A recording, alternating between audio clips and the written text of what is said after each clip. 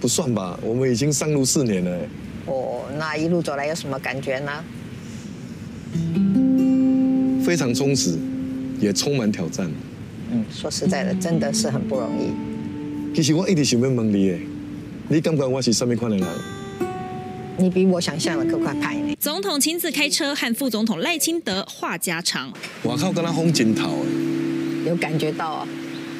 但我无什么感觉诶，你开车开了足稳诶。因为有你在旁边帮我看啊，让我能够放心开啊。还是你比较担心风大把中分吹歪了？我我就说没那么中分啊。对话展现过去四年合作默契，导航出状况也不慌张。重新调整路段计算中，导航有问题。重新调整，我们还是继续直走啊，然后我们接快速道路。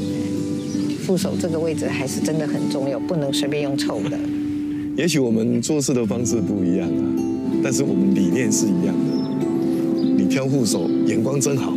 民进党推出最新竞选影片，完成蔡英文开车愿望，走过台湾大街小巷，用驾驶比喻治理国家。你准备好了吗？准备好了。哎，你们一定会开得比我更好哦。有他在，没问题。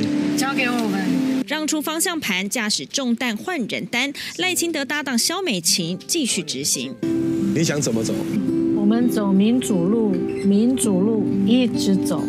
那我们同一路的哦。打温情牌，民众留言好感动的广告，还有人发现这一幕一蓝一白小巧思太会买梗。蔡英文任期倒数，交棒赖萧配，浓浓传承意味。三立新闻蔡宇智、曾家轩台北报道。